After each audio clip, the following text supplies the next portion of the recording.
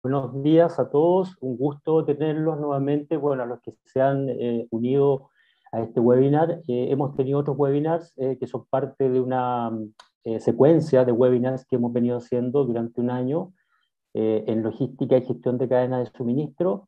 A los que se están uniendo por primera vez, les recomiendo que busquen en YouTube los webinars anteriores porque tienen una secuencia lógica eh, que ha ido abarcando todas las cosas interesantes de logística y gestión de cadenas de suministro que tienen que ver con el momento que estamos viviendo, ¿no? la crisis que causó COVID-19 y los avances ¿no? que hemos visto durante todo este año.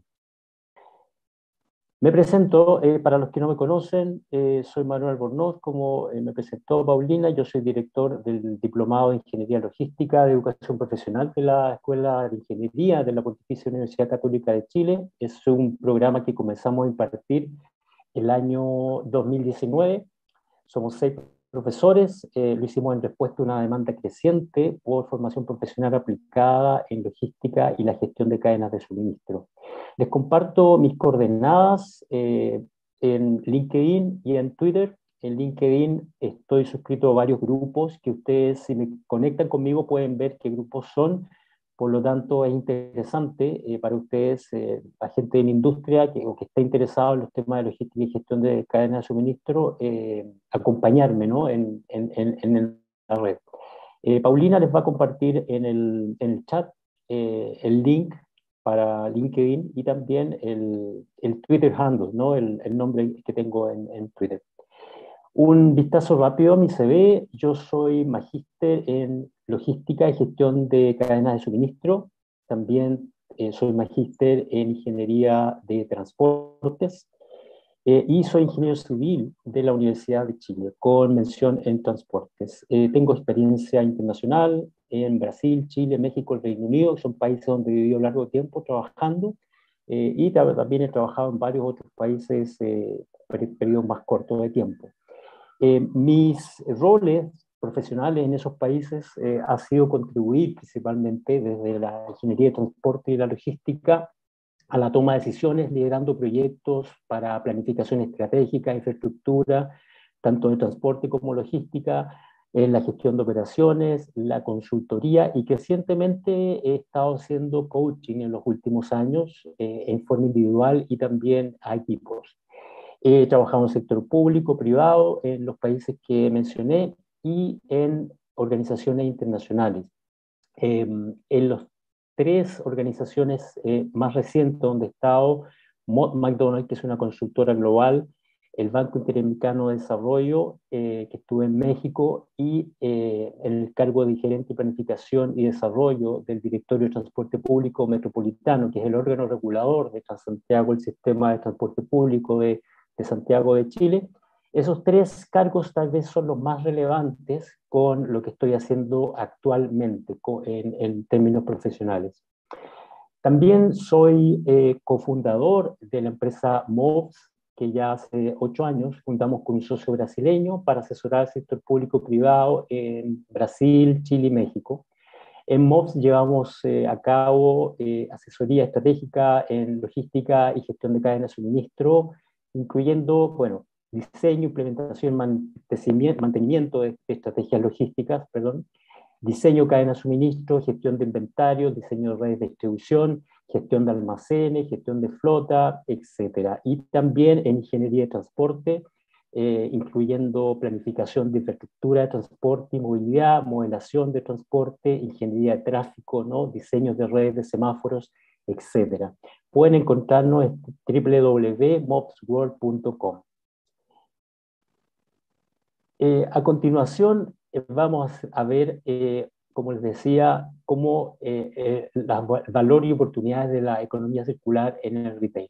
Entonces, la agenda va a cubrir primero una breve pasada por los principios impulsores de la economía circular, para luego saltar de lleno a lo que significa economía circular en el retail, ¿no? y principalmente enfocarme en el tema de las devoluciones.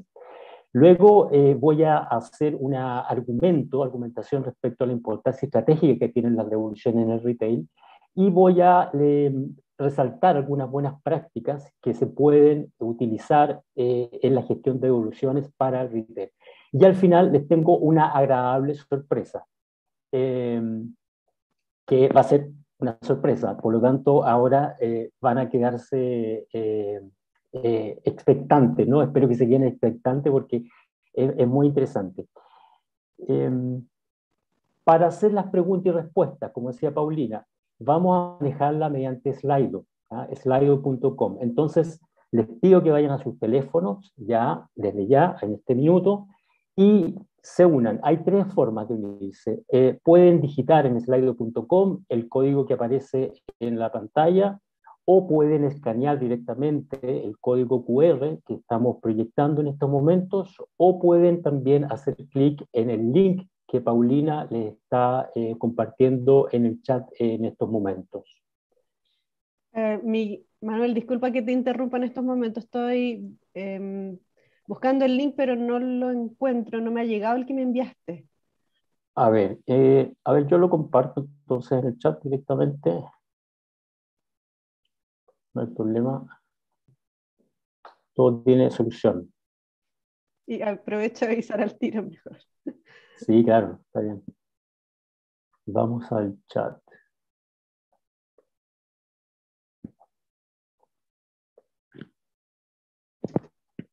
Listo, compartido el link para Slide.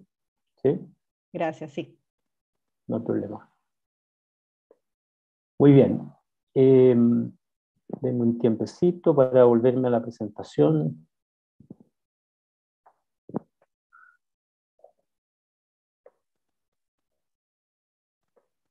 Muy bien. Bueno, y para quebrar el hielo, vamos a partir haciendo una pequeña eh, nube de palabras, ¿ya? Los que ya están conectados eh, seguramente ya están viendo. El ejercicio dice, en una palabra, ¿qué entiendes por economía circular? Entonces les pido que eh, los que ya se conectaron escriban una palabra que a, ustedes les parezca eh, que dice ¿no? o tiene relación con lo que ustedes entienden por economía circular.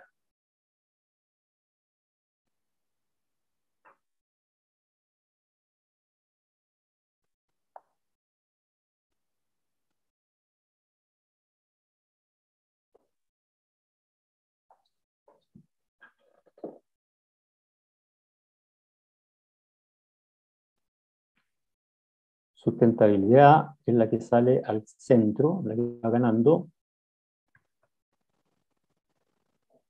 Autosustentable, vanguardia, reutilizar, valorización, ciclo de vida, ciclo, eficiencia, uso de todas materias primas.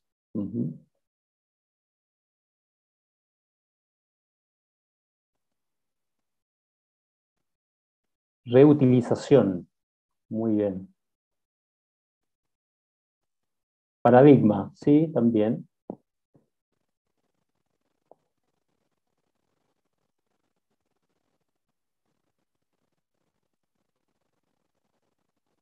Muy bien.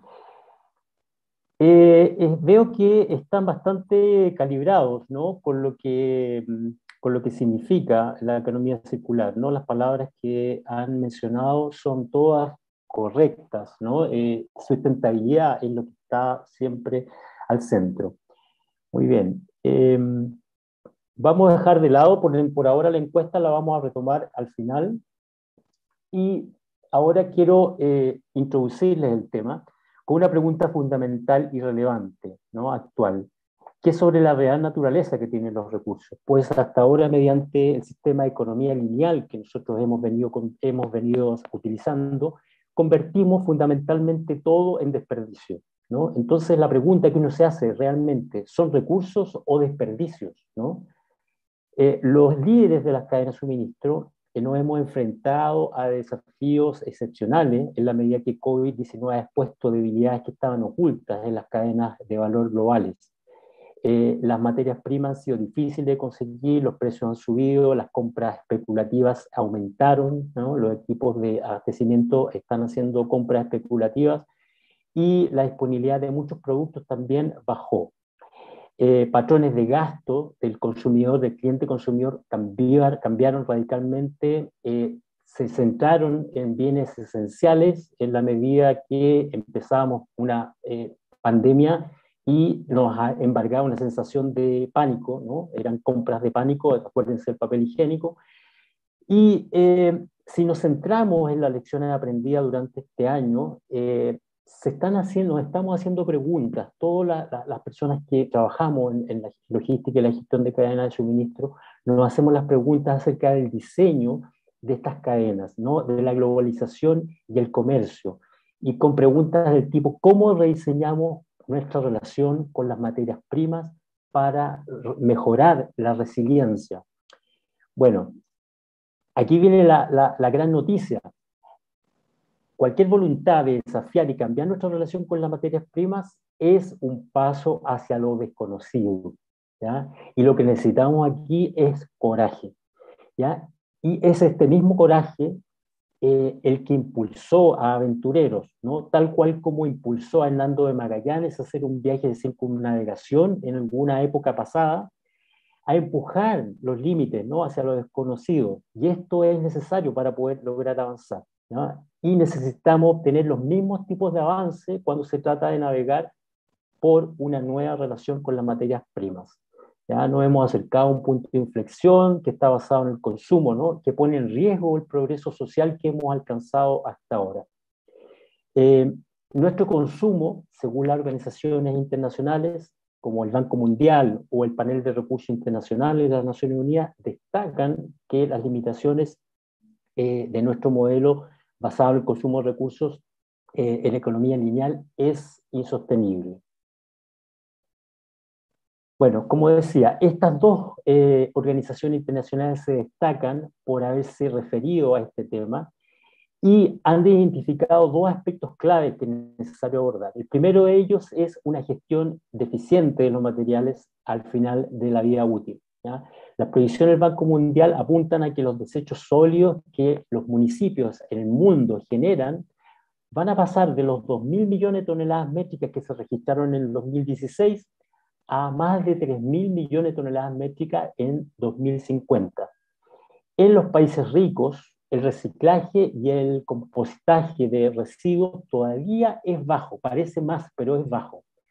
Eh, solo el 36% de todo ese material se, se, recicla. En realidad, los recursos que eh, valorados al comienzo de su vida útil se convierten en al final en un costo financiero y una carga ambiental cuando alcanzan el final de su vida útil. Cuando se generan recursos en fabricación, significa que las organizaciones y las cadenas de suministro, atención, las organizaciones y las cadenas de suministro pagan dos veces por los materiales. Primero, el costo inicial de la compra y segundo, el costo que implica su eliminación. Y también hay costos ocultos que son derivados de la mano de obra, el procesamiento y los impactos ambientales que conllevan. Eh, el crecimiento en la gestión de recursos basada en el consumo es ineficiente, es costoso y es fundamentalmente eh, se considera cada vez más por los economistas un fracaso.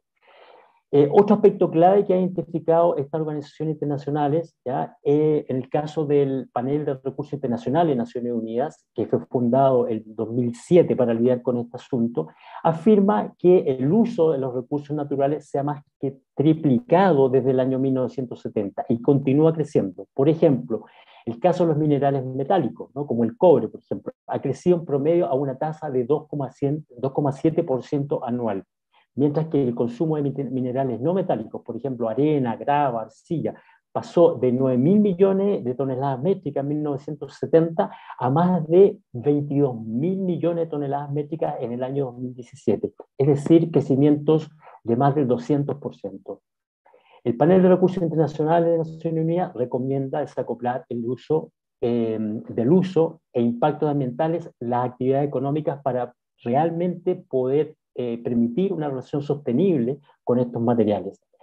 Debido a que las cadenas de suministro trabajan con materiales con disponibilidad finita, la baja disponibilidad va a seguir aumentando.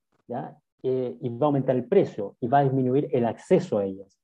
De continuar con un flujo de materiales como hoy día en una sola dirección, desde el punto de extracción hasta el punto de disposición final, eh, vamos a tener que es un enfoque cada vez más ineficaz eh, en términos de gestión de los recursos. Muy bien. Em, paradojalmente, COVID-19 ha creado condiciones para el cambio, ¿no? para desafiar supuestos y prácticas previas. De aquí es que se origina esta visión de que como aventureros ahora es un momento clave para desafiar las normas y diseñar un enfoque de gestión de materias primas que realmente se ajuste al futuro que eh, deseamos. Ok, ¿De qué estamos hablando a nivel global para hacer frente a esta aventura ¿no? de tratar una relación nueva con los, recursos de la adopción de la economía circular? ¿Y cuáles son los principios de la economía circular? En primer lugar, la economía circular se basa en tres principios. Eh, eliminar eh, residuos, la complejidad y la toxicidad para permitir que los productos se puedan reprocesar al final de su vida útil. En segundo lugar, el segundo principio, mantener las materias primas en uso durante el mayor tiempo posible en la calidad máxima que es posible obtener de ellos. Y el tercer principio, devolver materiales a su entorno natural de una manera que resulte en impacto ambiental positivo. ¿ya? En el caso de Chile, por ejemplo, sería tratar de devolver el cobre a su lugar de origen. Un ejemplo.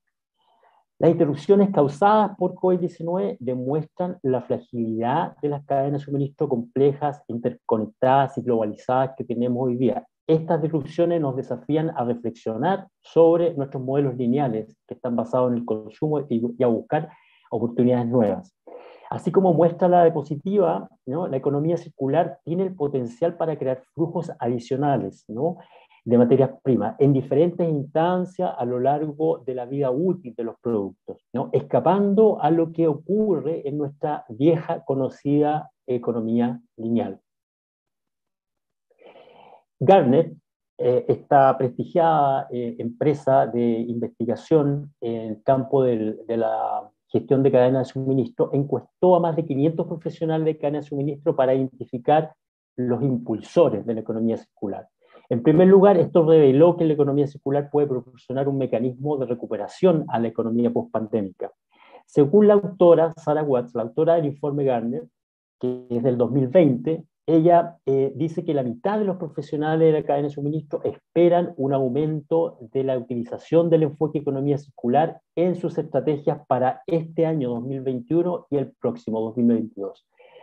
Por su lado, un 44% de los encuestados declara que es demasiado pronto aún para evaluar el impacto del COVID-19 en las estrategias de economía circular. Eh, y encontró que los profesionales de cadenas de suministro que pertenecen a empresas más grandes, las mayores, valorizadas en más de 25 mil millones de dólares, son los más optimistas. Cerca del 60% eh, piensa que el énfasis de la economía circular va a seguir aumentando en los próximos años cuando eh, uno compara esa, esa cantidad con eh, las organizaciones, lo que piensan los profesionales de las organizaciones de tamaño menor, empresas que están valorizadas entre mil millones y 25 mil millones de dólares. Bueno, ¿esto qué sugiere? que son las grandes empresas las que tienen los recursos y el apetito real por eh, eh, explorar las oportunidades de la economía circular. Bueno, cabe agregar a esto que los impulsores contextuales de la economía circular también están cambiando. Esto se percibe más en la medida en que China y Europa están promulgando legislación al respecto.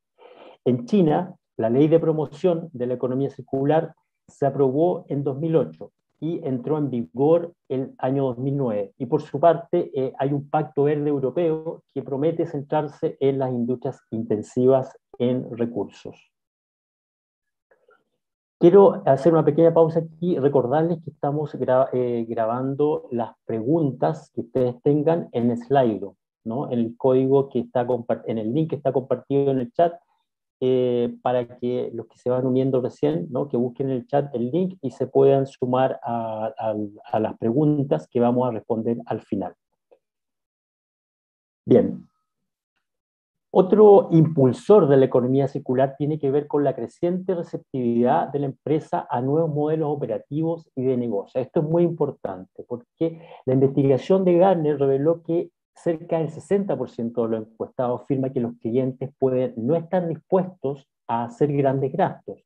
Por lo tanto, esto hace que el producto como servicio, algo que venimos conociendo en la última década, con mayor eh, familiaridad, o los modelos de arrendamiento o leasing de productos sean eh, modelos de negocio más atractivos. ¿ya? Y este enfoque, en principio, es más relevante para organizaciones B2B que para eh, servicios B2C, o sea, entre empresas. ¿no?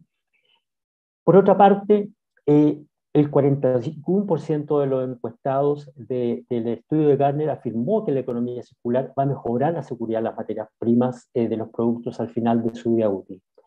Mientras que el 37% de este universo encuestado dice que el producto como servicio o estas opciones de leasing de productos van a proporcionar definitivamente mayor información sobre los clientes. Léase Big Data. Por último, 29% cree que el énfasis en la economía circular va a ocurrir mediante actualizaciones de productos. ¿no? Las organizaciones de tecnología eh, dan mayor énfasis a estos modelos de producto como servicio o modelos de leasing de productos, mejorando así el conocimiento que tienen de cliente, haciendo uso de la digitalización que pone en las manos de la empresa la gran cantidad de información. Como ya mencioné, estamos hablando de Big Data. Por último, en tema de impulsores de la economía circular, eh, el hacerse preguntas más amplias en la organización acerca del diseño de las cadenas de suministro y la resiliencia también puede impulsar a las organizaciones hoy día en una dirección de economía circular. La investigación que hizo Gartner muestra cinco cambios en el diseño de las cadenas de suministros y la implicancia de una mayor resiliencia para los próximos cuatro años, luego de esta crisis de COVID-19. La primera tendencia, trabajar desde casa, se va a convertir en la nueva normalidad, ¿ya? que el 98% de los 532 encuestados espera que esto vaya en aumento. También va a haber un mayor enfoque en la digitalización, eh, un 95% piensa eso y un 92% piensa que habrán una avalancha de modelos nuevos, de nuevos modelos de negocio. Bueno, a medida que disminuye la disposición de los clientes a visitar las tiendas también va a aumentar la entrega a domicilio y, por supuesto, el comercio electrónico, que no es ninguna novedad para nadie, como ha aumentado en, el, en, este, en este año que, que llevamos de, de, pandemia. Por último, hay preguntas también eh, sobre el diseño de la red de la cadena de suministro adecuada. ¿no? Las inquietudes de los encuestados apuntan sobre cuáles son las mayores restricciones al movimiento de bienes y servicios y el posible distanciamiento ya definitivo de aquellas cadenas de suministro globales y la fabricación que se ha eh, establecido en localidades remotas.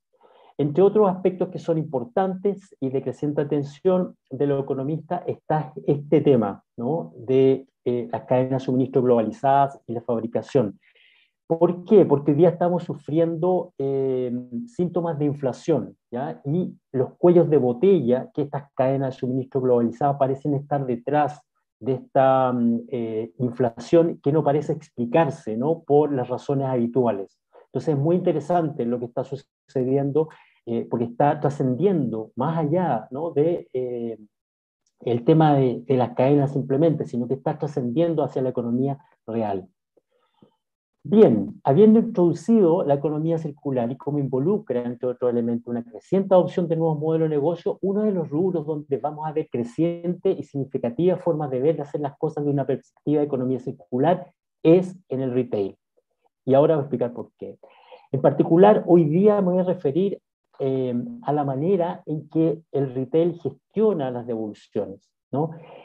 Las devoluciones ocupan un lugar muy importante de nicho en la logística y en la gestión de cadenas de suministro, ¿ya? y se valen de que de la logística inversa o reverse logistics, como se conoce por el, por el nombre en inglés, para poder materializar los objetivos de las devoluciones. De aquí el vínculo que existe en la mente de las personas entre economía circular y la logística inversa. Si alguna vez le, no les sonaba que estas dos cosas se unen, es aquí.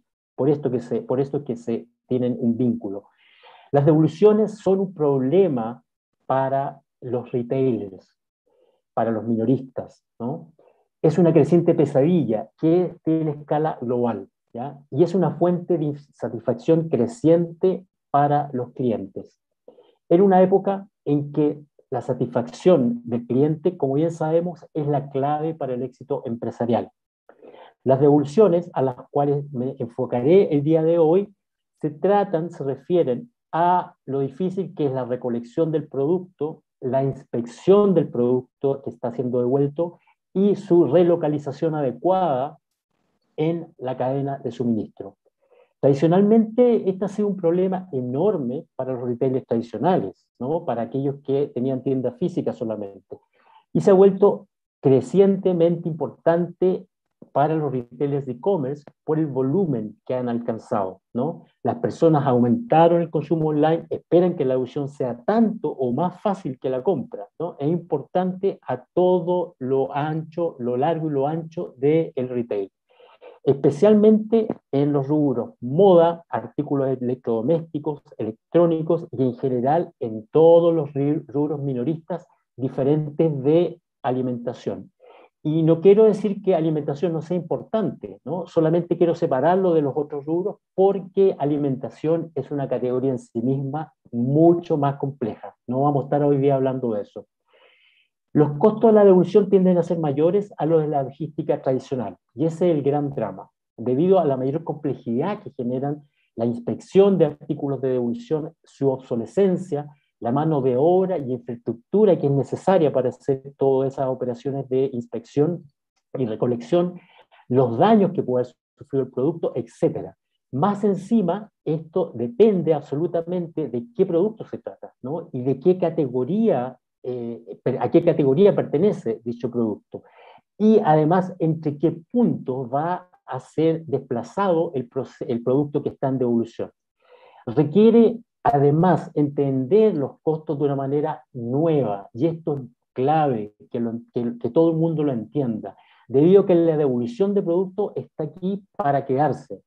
Eventos de retail típicos, eventos de retail como Cyber Monday, Black Friday, Navidad, perdón, las típicas promociones son las grandes instancias que permiten la rentabilidad del negocio de retail, pero generan muchas devoluciones, ¿no? Y que al tener un costo que puede llegar a ser de 30% mayor que el costo logístico tradicional, termina erosionando enormemente ese margen de ganancia. En algunos casos se pueden aumentar los precios para acomodar las devoluciones, ¿no? para costearlas de entrada. Sin embargo, dado que eso es, eh, es cada vez menos posible, porque es una solución que no agrada al cliente consumidor. ¿Qué se puede hacer entonces? Bueno, en los siguientes minutos voy a contarles la corriente de pensamiento actual para abordar este problema. Afortunadamente, aunque el problema no ha sido resuelto, ¿no? estamos recién comenzando a verlo, el interés científico por resolver esta complejidad ha sido permanente. Sin embargo, no ha sido abundante. Conozco al doctor Michael eh, Vernon, de, profesor de Supply Chain Leadership y eh, director del programa ejecutivo de MBA de Cranfield University, y él es un especialista en la gestión de devoluciones y ha estado estudiándola durante los últimos 20 años. Eh, lo conozco porque es mi tutor, fue mi tutor, académico cuando yo hice la maestría. Él cree que algunas estrategias de negocio empresariales del retail tienen que fomentar las devoluciones, ¿no? Y rápidamente eh, él llama la atención sobre el creciente em, desperdicio que se está generando en devoluciones que son directamente llevadas al vertedero. Ya voy a, ver, eh, voy a hablar un poco sobre eso. Bueno, el interés se remonta al año 91, 1991, y nace en Sheffield University, eh, en el Reino Unido y comienza con un abordaje completamente distinto del que se está aplicando al día de hoy. Eh, el doctor Vernon dice que el interés de la gestión de devoluciones real, real, comenzó el año 2005, ¿ya? en el trabajo de la Universidad de Sheffield al cual él se unió. Entonces son dos universidades que están trabajando en esto, la Universidad de Sheffield y la Universidad de Cranfield. Él considera todavía esta área de la gestión de las devoluciones como un área virgen en, lo que es el conocimiento de la gestión de cadena de suministro. Allí eh, se comenzó a investigar sobre los retornos de una manera, de, perdón, sobre las devoluciones de una manera eh, muy diferente a la que se está haciendo hoy día. Y se ha ido ampliando la visión, se han ido agregando aspectos eh, respecto a los que hay que pensar, eh, porque empezó a aparecer la complejidad ¿no? que realmente revisten estos, estas devoluciones. Bueno, el enfoque actual de devoluciones 2021 funciona basado en una herramienta de autoevaluación empresarial implementada en base a un semáforo que la misma empresa tiene que eh, llenar. Se bautizó como el Reverse Logistic Tool Kit 2.0. Está disponible en el sitio de la Universidad de Sheffield. Este toolkit incluye autoevaluación en diferentes encabezados, tales como medición de costos y desempeño, prevención de devoluciones de productos, gestión de procesos, eh, red física, gestión de inventario, información de comunicación tecnológica, contenedores para la eh, manipulación de materiales, economía circular como un aspecto, etc. Bien, como sabemos, por otra parte, que en 2020 la pandemia amplificó el crecimiento del comercio electrónico, Cencosud reportó en Chile a fines de mayo de 2021 que las ventas electrónicas del negocio de supermercados tuvieron un crecimiento de cerca del 520%, seguidas de tiendas de departamentos con un aumento del 180%, y los artículos para mejorar el hogar, el do it yourself, con un alza del 112%. En la última divulgación de resultados que hizo Cencosud en el segundo trimestre de este año, Cencosud aseguró que el crecimiento del canal online se le volvió comparable a lo que registran países como el Reino Unido y Francia, ¿ya? donde ahí se encuentra la penetración, las tasas de penetración de retail más altas del mundo, del, del, comercio online. En la presentación que hizo Cencosud sostuvo que durante junio de 2020 eh, la penetración de venta online en supermercados en Chile, eh, llámese Jumbo y Santa Isabel, fue del 13,6%, superando lo registrado en los países que mencioné anteriormente, Francia y el Reino Unido. Por otra parte, DHL Express publicó recientemente un nuevo white paper, ¿ya? un documento que se llama La Guía Definitiva sobre E-Commerce B2B, el fin de lo tradicional, el comienzo de lo digital. Y este estudio de DHL Express prevé un fuerte crecimiento de eh, mercado e-commerce B2B para los próximos años. Para 2025, el 80% de todas las interacciones de ventas B2B entre proveedores y compradores profesionales va a ser eh, digital. ¿Y qué ha pasado con las devoluciones de vestuario entonces. Como dije, moda es eh, tal vez es el rubro donde más devoluciones ocurren. Cada vez más personas esperan que los minoristas sean capaces no solamente de entregarle perdidos con rapidez, precisión y simplicidad, sino que también la expectativa de que una eventual devolución sea una experiencia fluida, sencilla de activar y que permita reembolsos rápidos. Una tendencia emergente es el crecimiento en tasas de devolución de ropa en compra online comparadas con las compras realizadas en tiendas. Las devoluciones de compra online doblan las de tienda física. Esto está revelado en un estudio que se reportó hace poco por eh, Burlakis, Vernon y Ford. Asimismo, el rango de variación de este aumento respecto al consumo online comparado con tienda física es considerablemente mayor en la compra online que en la tienda física. ¿Qué sugiere esto? Que existe una oportunidad considerable de negocios y que esta oportunidad va solamente a aumentar en el tiempo. Y aquí existe una lista interesante. En el Reino Unido, la empresa Drappers eh, declaró que las devoluciones fraudulentas le cuestan 1.500 millones de libras anuales. ¿Qué son las devoluciones fraudulentas? Bueno, aquellas en que eh, el comprador compró artículos con la intención de usarlos y devolverlos. ¿Ya? Una encuesta que se realizó al respecto arroja que eh, quinta parte de los compradores admite haber comprado artículos con intención de usarlos y devolverlos de entrada. Eh, aumenta esto al 43% cuando uno ve rangos de edad. Entre 16 y 24 años es el 43% de los usuarios y un 39% de los usuarios de rango entre 25 y 34 años. Bueno, ¿qué sugiere esto? Pues que la toma de decisiones del cliente ya incluye devoluciones gratuitas. ¿no? Esta práctica se conoce como word drawing es un fenómeno creciente en el que los compradores compran ropa, zapatos y otros artículos con intención de usarlos y, usar, y, devolverlos al minorista. La ropa es el artículo que más sufre esta práctica, ¿no? seguido de la electrónica y luego de los zapatos. Es frecuente que se encuentre este tipo de práctica wardrobing con ropa cara, aunque también se lleva a cabo con otros artículos como herramientas, equipos electrónicos y también computadores.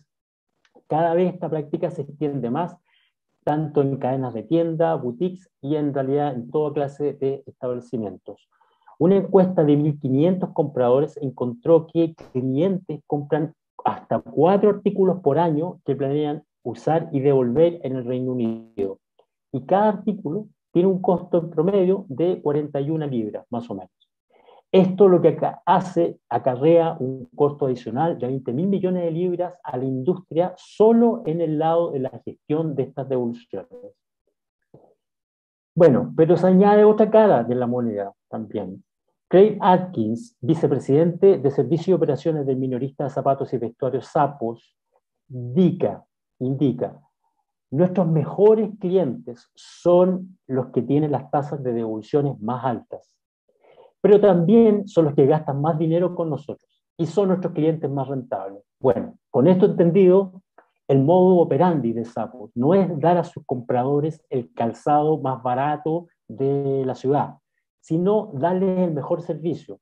Por lo tanto, tienen una política de devoluciones de 365 días por año y un envío gratuito de ida y de vuelta, así que es devuelto el producto.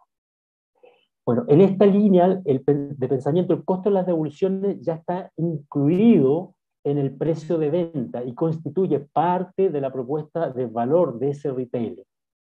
Vale la pena entonces preguntarse ¿no? si no es estratégico darle la bienvenida a las devoluciones. Bueno, claramente las devoluciones han cambiado de una década a otra desde aquel ejemplo tradicional en cuando uno eh, se encontraba con un extranjero, típicamente un anglosajón en Latinoamérica que compró eh, pantalones sin probárselo en la tienda eh, y no le quedaron bien y cuando los fue a devolver le hicieron un tremendo problema. Hasta hoy día en que las devoluciones se han ido volviendo más cotidianas y menos burocráticas. ¿no? En nuestra región el cambio, eh, la, región latinoamericana, el cambio acelerado ha venido de la mano de la influencia de los marketplaces electrónicos masivos, como es Amazon, ¿no? que gestiona devoluciones de una manera 98, 99% satisfactoria para el cliente, facilitando el proceso logístico que está subyacente. De esta manera, las devoluciones están en un punto alto de la lista eh, de los clientes consumidores eh, de Latinoamérica hoy día. Por lo tanto, es posible considerarlos partes clave de la propuesta de valor de los minoristas. Esto es importante, ¿no? Porque la experiencia que eh, voy a tener como cliente online durante la devolución va a influir en mi compra futura, ¿no? Y queda fuertemente evidenciado por un estudio que hizo UPS eh, que realizó el año 2020. Y UPS concluyó que 74% de los encuestados indicó que la experiencia de la devolución del producto afectó su decisión de continuar comprando. Y también eh, arrojó que 60% de los encuestados estuvo satisfecho por ciertas razones. Un 35% tuvo una devolución gratuita. El 24% dijo que eh, cuando el retail recibió el producto conforme, se reflejó inmediatamente el reembolso en la cuenta de devolución. Y el 19% dice que los comercios utilizaron políticas de devolución claras y realizaron la devolución de manera simple y sin preguntas. Y la última es interesante, un 13% indica que le fue fácil imprimir las etiquetas de devolución. Y esto más que confirma que el usuario quiere las cosas simples. Bueno, con estos hallazgos y experiencia podríamos entonces abrirnos de lleno a acoger y satisfacer las expectativas que nuestros clientes tienen para las devoluciones. Esto es especialmente relevante hoy, que la opción tecnológica y la digitalización de las personas y empresas está apalancando de una manera sustancial un nuevo mindset, un nuevo contexto en el cual plantearse mejores soluciones para las devoluciones. Las devoluciones gestionadas hoy día por grandes retailers como Amazon, no solamente eh, la expectativa del cliente consumidor es la que impulsa un ecosistema favorable y de prosperidad para mejores devoluciones, ¿ya? un aspecto sensible, crecimiento, recientemente eh, espinoso, si uno lo quiere llamar así, no solamente para las empresas, sino que para los clientes, es la sostenibilidad. ¿no? Estamos todos de acuerdo en eso. En los últimos 20 años se ha encumbrado la atención de los consumidores, la reputación de marca y la consecuencia eh, es la, las empresas se han vuelto cada vez más conscientes del riesgo de reputación de la marca desde el punto de vista medioambiental. Hace poquitas semanas, eh, Amazon fue descubierto por la cadena británica ITV News porque estaba destruyendo millones de artículos sin vender todos los años. Las imágenes que exhibió la cadena ITV News mostraron desperdicio en un nivel asombroso. ¿ya? Eh, y lo que más llamó la atención es que esto correspondía a solo uno de los 24 centros logísticos que manejan el Reino Unido. Lo que se observó es que cerca de 130.000 productos semanalmente estaban siendo arrojados en vertederos. Eh, incluían smart TVs, computadores portátiles, drones, secadores de pelo, audífonos de alta gama, computadores, miles de libros, máscaras de COVID que estaban selladas todavía todo clasificado en cajas con el, eh, y etiquetados con el, la leyenda para destrucción. Bueno, ¿por qué se destruyen cientos de miles de productos de esta manera? La respuesta es paradojalmente que se debe al negocio eh, exitoso que tiene Amazon. Muchos proveedores eh, deciden almacenar sus productos en las enormes bodegas que mantiene Amazon. Sin embargo, cuanto más tiempo permanecen sin vender esta mercadería, más se le cobra a esa empresa por tenerla almacenada. Eventualmente es más barato deshacerse de los bienes, especialmente de existencia de productos producidos en otros países, que continuar almacenándolas en stock. Eh, incluso esto eh, motivó la intervención del primer ministro Boris Johnson, que calificó impactante ¿no? ver una compañía de miles de millones de, dólares deshacerse de acciones de, de, de, esta manera ¿no? y no optar por un mejor uso de los recursos. Bueno, a la luz de todo lo que hemos visto hasta aquí, eh, se incrementa el argumento en voz de dar la bienvenida a la gestión de las devoluciones que solicitan los clientes. Miradas estratégicas constituyen una fuente de rentabilidad y una oportunidad de negocio que está, como ya señalé, ciertamente apalancada por la opción tecnológica y la digitalización en el año que estamos, 20, 2021, y de aquí en adelante. Entonces, la pregunta relevante es cómo procedemos. ¿ya? Los nuevos modelos de negocio que proporcionan la perspectiva de circularidad en la economía son parte del conjunto de claves que hay que desarrollar. Desde replantear los productos como portadores de una propuesta de valor resonante, que son usados como un servicio en lugar del tradicional modelo de propiedad, pasando por una gestión mejorada de recursos que implica su recolección, su reutilización, eh, en lugar del tradicional modelo de propiedad. Y hasta el incentivo a, la a su devolución y reutilización. Veamos en qué consiste cada uno de estos aspectos. Eh, el caso, eh, el primer caso de producto como servicio. Un ejemplo ilustrativo es, eh, se puede dar en el fast fashion. ¿ya? El fast fashion es un concepto que ha dominado la comercialización del vestuario en los últimos 20 años, sin embargo, hoy día está obsoleto y es una tendencia que parece destinada a ser desterrada por la economía circular. Producir ropa de baja calidad, venderla como eh, moda rápida, es el que termina en los vertederos, corresponde a este enfoque antiguo y ciertamente indeseable. Hoy día las empresas tienen un enfoque circular, promueven el acceso sobre la propiedad, además de combatir la sobreexplotación de los recursos y la producción de recursos textiles. En el núcleo eh, de, esta idea está el objetivo de maximizar la vida útil del producto utilizando el modelo de negocio de uso compartido. En pocas palabras, el artículo de vestuario que sirve a muchas personas diferentes y realmente se usa en lugar de olvidarse en el guardarropa de una única persona. El ejemplo, en este caso, es de la firma Lena de Holanda, que desde hace más de cinco años ha estado experimentando con un modelo de negocio, ha llevado a cabo muchas pruebas y ha aprendido mucho de sus errores. Eh, este esfuerzo parece haberse eh, dado resultado una fórmula correcta. Tiene la forma de una biblioteca de moda del vestuario. Los consumidores pueden pedir prestada ropa de alta calidad que equivale a una forma asequible y práctica de renunciar al fast fashion. Utilizando el servicio, los miembros de esta biblioteca tienen acceso a una gran colección de ropa de diseño de varias marcas que son sostenibles. Bueno, y los nuevos modelos de negocios se basan también en la gestión mejorada de los recursos a través de la recolección, la reutilización, rehabilitación o la reventa de los productos. Eh, cabe resaltar que la forma en que se recolecta y recicla la ropa es muy diferente del proceso de botellas, latas de cartón con el que estamos más familiarizados.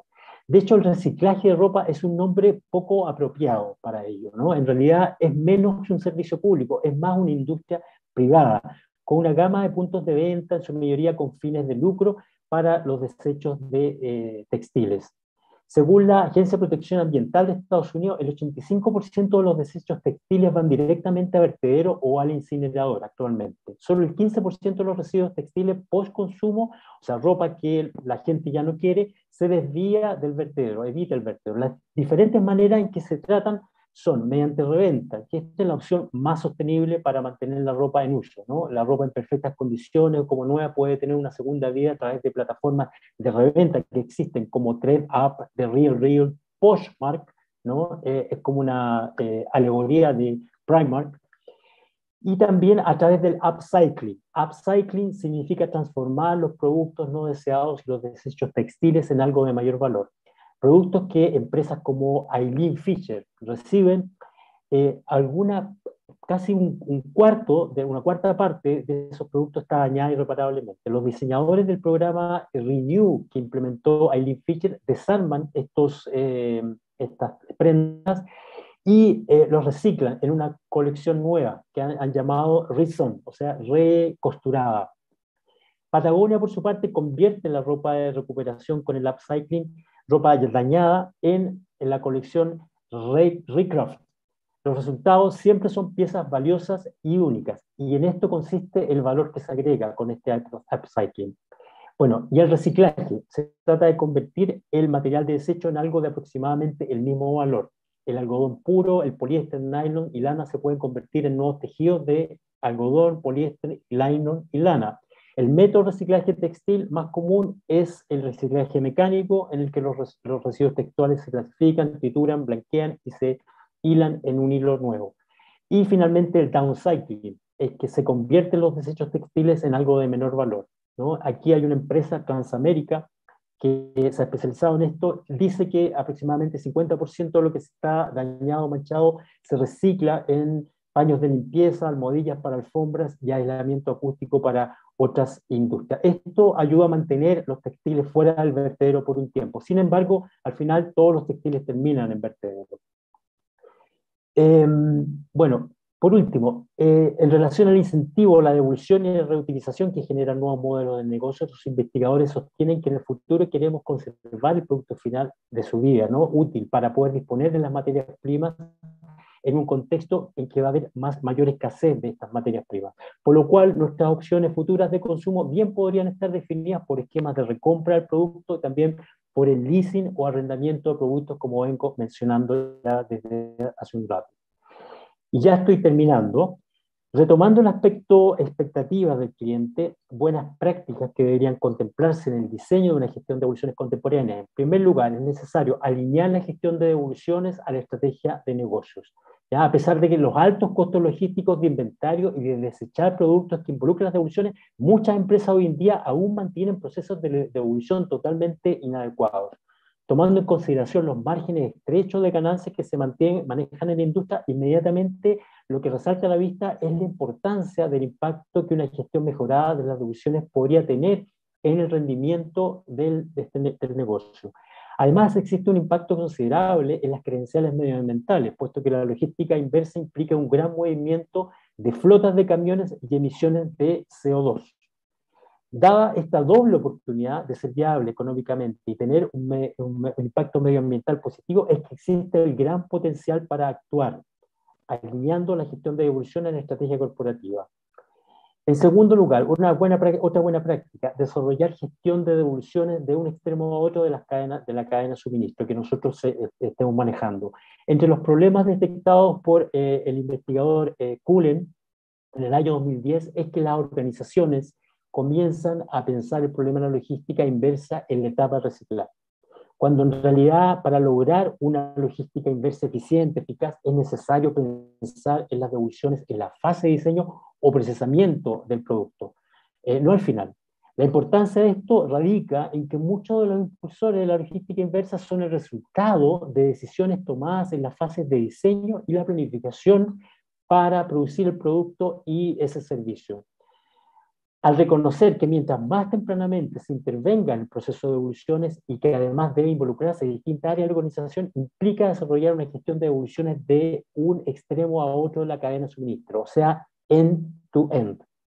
Y por último, prevenir devoluciones y mejorar la experiencia del cliente. ¿no? Evitar desde un comienzo las devoluciones es considerado como una de las mejores maneras de reducir costos elevados de logística inversa mejorar la satisfacción del cliente y también reducir el impacto ambiental.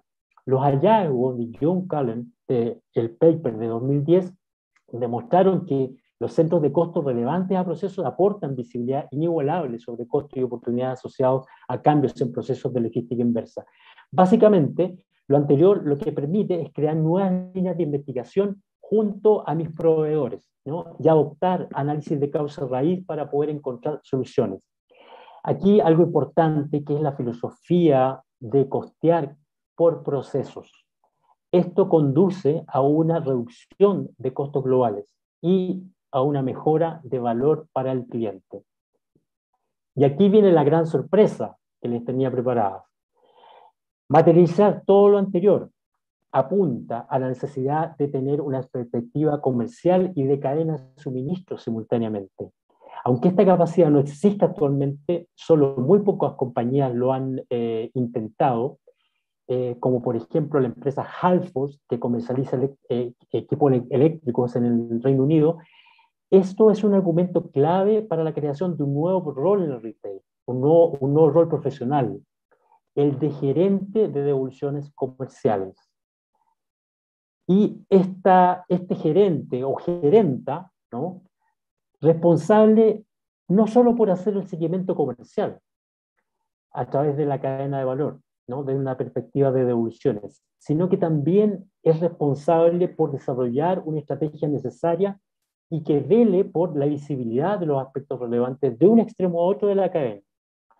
Esto también deriva en la necesidad de repensar el diseño organizacional actual para abrirle espacio a este rol profesional y vincularlo con las otras áreas relevantes. Y con esto ya doy por terminada la charla sobre economía circular, pero ¿cómo no aprovechar, debido a que estamos hablando de un nuevo rol profesional, de eh, comentarles ¿no? que el próximo 25 de agosto se inicia una nueva edición del Diplomado de Ingeniería Logística. Esta es una oportunidad académica de clase mundial para que adquieran habilidades estratégicas y operacionales como las que requeriría un gerente de devoluciones comerciales, por ejemplo. También una oportunidad para consolidar vuestras carreras profesionales de eh, logística y gestión de cadena de suministro.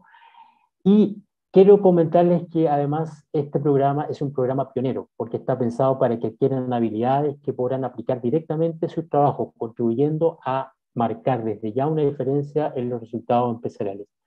Como les señalé, este diplomado comienza el 25 de agosto y se ofrece en modalidad carrusel, o sea, se abren oportunidades para comenzarlo cuando inicia cualquiera uno de los cursos y se puede también tomar cursos sueltos.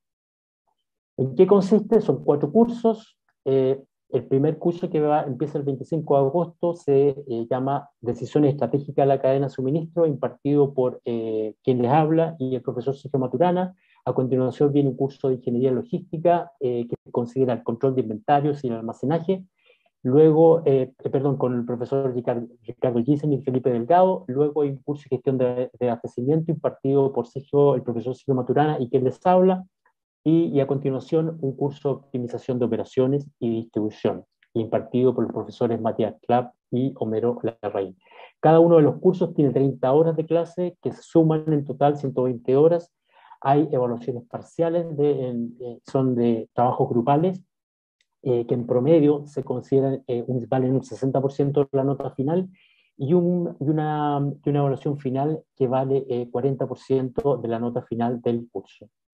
Para quienes deseen revisarlo, por favor coloquen en la caja de búsqueda Diplomado de Ingeniería Logística, Educación Profesional UC, y aprovecho de dejarles el link directo en el chat. Voy a pasar al chat para... Ahí lo coloquemos, eh, Manuel, no te preocupes, dejé el, el, enlace del diplomado y también los datos de admisión para que nos puedan hacer consultas. Perfecto, muchas gracias. Bien, bueno, las referencias y... Ahora les voy a pedir que volvamos a Slido, ¿ya? Y lo que quiero como favor es que me ayuden con la siguiente pequeñísima encuesta, ¿ya? ¿Ya la pueden ver? La encuesta dice así, pensando en que potencialmente ustedes se van a matricular en el diplomado, ordene de menor a mayor eh, en importancia en los tópicos, siguientes, los tópicos siguientes. Fundamentos para el diseño de sistemas de e-commerce, finanzas para cadena de suministro, análisis de datos y bases de datos para logística y cadena de suministro, ciencia de datos y machine learning para logística y cadena de suministro. O sea, el que considere más importante le colocan un 4 y al que consideran menos importante le colocan un 1, ¿no? Y a los otros dos, bueno, dependiendo de la, del ranking que ustedes hagan, el 2 y el 3. Es muy fácil responderla, y, pero sí eh, necesitan pensar un poquito, así que les voy a dar un tiempecito para que lo, lo revisen. Y quienes vayan, eh, quienes vayan terminando, eh, les invito a que se muevan a la pestaña de preguntas y respuestas de Slido. Seguramente la mayoría lo está viendo en su teléfono, pero algunos lo pueden estar viendo en su, en su computador. Em, pero los que vayan terminando de responder la encuesta, les pido que se muevan a la, a la, parte de, preguntas y respuestas, que vamos a empezar a, a ver las, las preguntas que nos han hecho. Muy bien. Eh, bueno, muchas gracias por las preguntas. Eh, bueno, Viviana, debemos entender que con la innovación y el trabajo en equipo y con el buen uso de la tecnología son las piezas fundamentales para pasar de la típica economía lineal de adquirir, usar y desechar a una economía circular Bueno, sí, son todas esas cosas, eh, pero además yo añadiría a esto que tú comentas, eh, Viviana, es que debemos mirar la complejidad, ¿no? Eh, sin miedos y con la cabeza abierta, para poder realmente comenzar a abordar la economía circular. No es que nos vamos a, subir a la economía circular de la noche a la mañana, ¿no? Esto es gradual. Eh, y no es posible, aunque lo quisiéramos hacer, o sea, por más que queramos hacerlo. Eh, el tema es que mm, es muchísimo más complejo de lo que uno podría haber imaginado. ¿ya? Y al ir abordando esa, esa complejidad es que uno lo ve desde el punto de vista sistémico, ¿no? que permite el abordaje de gestión de cadenas de, suministro. Y desde el punto de vista de las devoluciones, que es lo que hablamos hoy día, ¿no? el, un tema importante es, por un lado, la cuestión medioambiental y por otro lado, la viabilidad económica. ¿no? Y desde el punto de vista de la, de la viabilidad, es que eh, yo hice hincapié en este punto de ver cuáles son los reales costos que tienen las devoluciones, ¿no? Eh, cuáles son los procesos involucrados. Y por eso la importancia de mirar los costos por procesos, no los costos tradicionalmente, como, los, como tradicionalmente se, se ven en, en, las organizaciones. O sea, eh, la visión de gestión de, de cadena de suministro permite eh, visualizar los costos de una manera diferente. Y eso es algo que eh, muy pocas empresas lo hacen. Como mencioné, empresas como Halford en el Reino Unido se preocupan de hacerlo de esa manera para poder realmente alimentar a, y que el gerente de devoluciones comerciales pueda tomar las decisiones al respecto, las decisiones correctas. ¿ya? O sea, como diría yo que el, el, el caso de, de Halford y lo que estoy haciendo, lo que estoy presentando hoy día, son pasos en la dirección de abrazar la economía circular. Bueno, espero que eso haya respondido la pregunta de Viviana. La pregunta ahora de Mariano, que dice, ¿qué herramientas Lean pueden ayudar como impulsores de la economía circular? Bueno, Lean es algo que ya está muy, muy, muy eh, metido ¿no? en, la, en, el mindset de las empresas hoy en día. ¿no? Las cadenas eh, de suministro funcionan eh, prácticamente en modo Lean todo el tiempo, ¿no? eficiencia. una mejor que otra, obviamente que no es Lean hoy día es muy difícil, ¿no? Hoy día, si no has implementado algo Lean en tu empresa, es muy difícil que vaya a poder competir. Por lo tanto, eso ya, ya, ya está incorporado. Ahora, hay discusión, ¿no? De que eh, muy Lean puede resultar eh, en que no puedas responder adecuadamente, ¿ya? Entonces yo no diría que las herramientas Lean sean impulsores de la economía circular, más bien yo diría que son em, apoyos en el sentido de hacer más viables las operaciones, ¿no? económicamente viables, ¿no? más eficientes. Por lo tanto, eh, yo creo que hay que eh, limpiar el concepto, ¿no? hay, que, hay que entender muy bien eso. En el curso de decisiones estratégicas de la cadena de suministro, eh, que empieza ahora el 25 de agosto, abordamos esto con mucho detalle, ¿no? cómo Lean eh, te puede ayudar, pero también en muchos casos eh, se contrapone a al paradigma que se está formando hoy día en la gestión de cadena de suministro, ¿no? este de resiliencia. ¿eh? Parecen ser contrapuestos. Sin embargo, el pensamiento actual ¿no? de la cadena de suministro 4.0 apunta a que podamos tener, seguir siendo lean y podamos ser también eh, resilientes, ¿no? cosas que antes parecían eh, imposibles, pero hoy día se está, ¿ya? y eso lo vemos en, en el curso. Mariano, si gustas, eh, esa es mi respuesta, pero si te interesa seguir conversando el tema, lo podemos, lo podemos extender, ¿no? Me, buscas, ¿no? Ya te di mis coordenadas, que es interesante tu, tu pregunta, muy buena. pregunta de Cristian.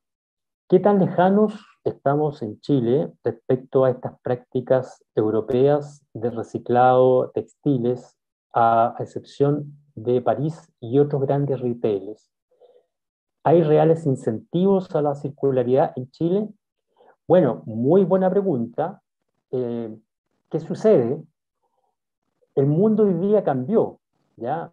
Eh, lo que está haciendo el país está cada vez importando menos. ¿Por qué? Porque está lleno de emprendedores, de startups que se dedican a hacer esto, ¿no? De una manera anónima al principio y de repente despuntan en el mercado y se vuelven famosos, ¿no? Y logran escalar sus operaciones y tienen éxito, ¿no? Entonces yo no me extrañaría de que estemos a las puertas de una avalancha de startups que empiecen a utilizar estas prácticas que parecen europeas, ¿no? de reciclado textiles, eh, aquí en Chile. ¿no? que realmente eh, estas mismas empresas ¿no? Eh, de alguna manera sirvan de ejemplo para startups que puedan comenzar esto. Entonces yo diría que estamos más cerca de lo que parece. ¿ya? Yo, no lo, miraría por el vaso medio lleno, eh, no lejanos, sino que estamos más cerca de lo que parece. Em, ¿Hay real incentivo a la circularidad en Chile? Mm, también yo creo que la legislación en Chile tal vez eh, ha avanzado en ese sentido, pero obviamente que no, no, no, se parece a lo que está haciendo Europa, ¿no? donde hay, hay mucho camino por recorrer. Sin embargo, pienso yo que va a venir por el lado de la disrupción, ¿no? los temas circulares en Chile. No va a venir eh, netamente por el lado de la, de la eh, de los incentivos. ¿sí? Eh, sin duda que es importante, son importantes los incentivos, pero hoy día en el mundo hay una masa crítica ¿no? de personas, ¿no? y de nuevo cito ¿no? los emprendimientos que van a buscar circularidad. Eh, entonces, eh, yo también veo aquí el vaso más lleno que falta incentivos, Cristian. También, excelente pregunta. Así que si quieres conversar sobre el tema más extendido, eh, me encantaría. Y otra pregunta de Viviana. Eh, muy buena charla. Gracias. Este enfoque contribuye y enseña a profundizar las relaciones con los clientes, garantizando la lealtad, nuevos flujos de ingresos y una ventaja competitiva sobre aquellos que trabajan con modelos de negocio que pronto quedarán anticuados. Eh, muchas gracias. Mira, la verdad es que yo no estoy intentando eh, evangelizar, sino que son difundir, diseminar eh, investigaciones valiosísimas ¿no? que estaban en la opacidad, ¿no? que estaban en las sombras. Eh, y sin duda que hoy día tienen relevancia. Em, sin duda que ya hay claras eh, evidencias de que muchos de los modelos de negocio que teníamos hasta ahora están de salida. Eh, no ocurre de la noche a la mañana, obviamente, ¿no? y en la medida que las disrupciones sean eh, más o menos, vamos a tener más rapidez en ese cambio.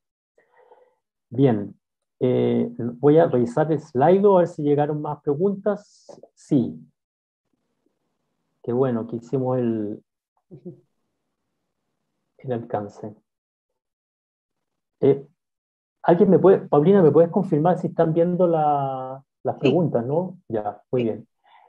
Ok, la primera pregunta. ¿Se conoce alguna empresa chilena que se encuentre aplicando un modelo circular en sus commodities? No, yo no, conozco ninguna, pero me encantaría si alguien sabe que me cuente, eh, le podemos abrir el micrófono para que nos, cuente sobre eso.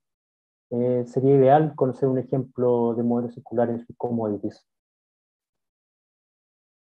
Eh, ¿Qué KPIs serían los claves para evaluar la logística, la gestión de logística inversa? Bueno, yo diría que básicamente son los mismos KPIs que podemos tener en la logística tradicional, ¿no? la logística de distribución. Que yo no me quedaría la cabeza tratando de inventar KPIs en esta etapa. Obviamente que cada industria va a tener KPIs propios, ¿no? pero básicamente los primeros KPIs que uno eh, revisaría serían los, los KPIs claves para la logística tradicional, que también serían aplicables para la logística inversa. Eh, en el caso de logística inversa, tal vez los costos van a tener una relevancia mayor, por lo tanto, yo diría que costos subiría a lo mejor en el ranking de KPIs eh, de logística inversa en respecto de la logística tradicional, porque la logística tradicional eh, sí están mejor, más controlados, ¿no? Entonces, la, la logística inversa tomaría una relevancia mayor, que con el tiempo, una vez que se dominan, van a empezar a, van a, empezar a bajar en el ranking, obviamente. Otra pregunta, a ver, ¿qué herramientas o metodologías pueden facilitar, conllevar a implementar la economía circular en una organización? Bueno, primero que nada, el cambio eh, de pensamiento organizacional, ¿no? el abrirse a eh, esta nueva forma de pensar, ¿no? que exista, por ejemplo, algún rol que tenga que ver, el caso del retail, por ejemplo, el, gerente o la gerenta de devoluciones comerciales. ¿ya? Eso en primer, primer lugar.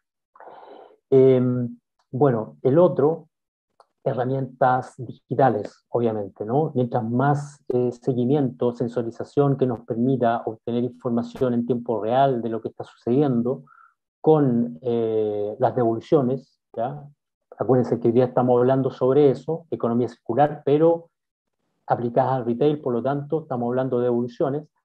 Mientras tengas mayor monitoreamiento de, de esas devoluciones, eh, va a facilitar esa implementación ¿no? en el largo plazo. Eh, acuérdense que la economía circular es un gran viaje. ¿ya? Esto que estamos dando son pasos. ¿sí? Entonces, eh, al final, todas estas herramientas van a ser una colección inmensa de herramientas y metodologías. Ahora, desde el punto de vista metodológico, el tema de los costos. ¿ya? El tema de los costos em, que tienen que ser eh, revisados por procesos visibilizar los costos por procesos para entender realmente cuáles son los reales costos que tiene esa compleja eh, proceso de devolución. ¿ya? Y ahí me, me, me, refiero a lo que se conoce en contabilidad y finanza, a los costos basados en actividades. ¿ya? Así lo pueden encontrar en la literatura. ¿ya? Esa es, en términos de metodología, me, me refiero a eso costos basados en actividades. Muy buena pregunta. ¿eh? Muchas gracias. Felipe, ¿el cambio de economía lineal a economía circular en Chile debe ir acompañado de un cambio legislativo o solo debe quedar en manos de iniciativas de empresas? Eh, bueno, Felipe, yo creo que yo no soy abogado, ¿no? Pero desde el punto de vista profesional de cadena, gestión de cadena de suministro logística, eh, sin duda que no, debe haber un cambio legislativo, ¿no? Eh, esto tiene que estar reflejado también en, en, en, las leyes, ¿no? Eh, en políticas públicas también, no solamente desde el punto de vista legislativo. Entonces, em, es muy probable que esto ocurra eh, de una manera en paralelo, ¿no? que las disrupciones vayan empujando, ¿no? como hemos visto en muchas industrias, en el transporte, por ejemplo, la movilidad, ¿no? cómo la movilidad se ha ido transformando eh, debido a las disrupciones que hemos tenido, ¿eh? de, fundamentalmente las disrupciones que la tecnología ha impulsado, que ha apalancado en, el, en, el, mercado. Entonces lo mismo yo creo que, que debería eh, pasar con esto. el cambio de economía lineal, economía circular, eh, no es algo, un viaje corto, estamos embarcados en algo, en algo de largo aliento, ¿no? Por lo tanto, eso también es un argumento en favor de decir que esto debe ser abordado mediante legislación em, eh, y regulación también, ¿no? Bueno, muchas gracias por eh, asistir hoy día y espero verlos en la próxima, en la próxima reunión, el próximo webinar. Y como les dije al principio, eh, revisen los eh, webinars anteriores porque son parte de una secuencia lógica que hemos venido abordando. Así que bueno, sin más, les agradezco mucho a todos y que tengan un excelente fin de semana. Cuídense mucho.